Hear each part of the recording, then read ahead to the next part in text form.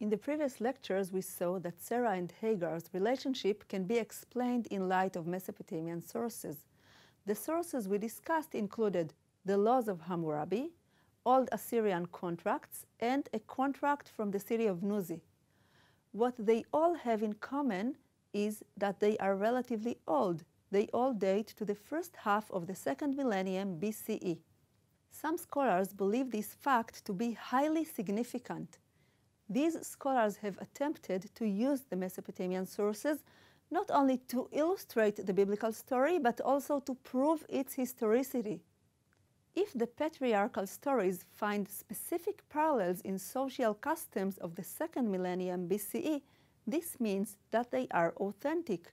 They reflect the reality of the time of the patriarchs, dated by many scholars to the second millennium BCE. The documents from Nuzi are especially important in this regard. The ancient Near Eastern scholar Cyrus Gordon argued that the legal texts found in the city of Nuzi exhibit many parallels to the patriarchal stories. For instance, in Genesis 15:3, Abraham declares that if God gave him no offspring, his steward would be his heir. Gordon found a similar practice in the Nuzi texts where slaves were adopted by childless couples. Gordon also identified parallels to the selling of the birthright to Jacob, to the legal relationship between Jacob and Laban, and so on. The Nuzi contract discussed in the previous lecture played a major role in Gordon's theory because it parallels Sarah's banishment of Hagar. Gordon and others in his wake took these parallels as proof of the historical authenticity of the patriarchal stories. Another prominent scholar who developed this theory was Ephraim Avigdor Speiser. In his influential commentary on Genesis, he discussed various parallels to the Nuzi texts. Gordon, Speiser, and their colleagues all addressed the broad problem of the dating of the patriarchal stories we cannot discuss this issue at length here. You will find reading recommendations on our website. We will limit ourselves to the case of the barren woman who gives her husband a slave girl. Can this specific custom, documented in second millennium texts, prove that the patriarchal stories are early? The biblical scholar John Van Seters, who opposed Gordon's view, has shown that the answer to this question is negative. Van Seters identified parallels to the Sarah and Hagar case in legal texts from later periods. Here is an example from a 7th century BCE Neo-Assyrian marriage contract.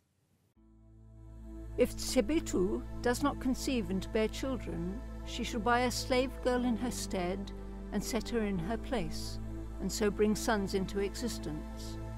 The sons will be her sons. If she loves the slave girl, she shall keep her. If she hates her, she shall sell her. This contract reflects all the basic components of the custom in question. A woman unable to bear children giving a slave girl to her husband, the children being considered her own. She is allowed to sell the slave girl at her will we see again that the rules governing the mistress's obligations and her relationship with the slave and the offspring are different in each case. But the important point for the historical discussion is that this custom was not limited to the second millennium BCE. Van Seters concluded that the patriarchal narratives were composed during the first millennium BCE. Yet it seems that the very aspiration to draw historical conclusions from the legal sources is rather far-fetched. What we have are various texts from different periods that provide us with the social and legal context for understanding the Sarah-Hagar relationship.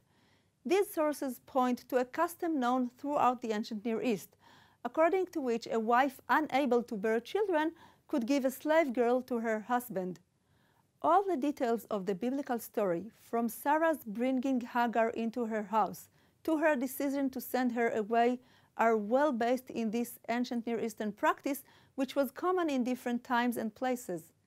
These insights are important in their own right. Yet, when it comes to the historical question, we simply can't point to a specific time period when the custom under discussion was most prevalent. As in many other cases of comparative study, the legal materials we examined may teach us a great deal about the cultural background of the biblical story. They cannot serve, however, as a basis for dating the biblical material.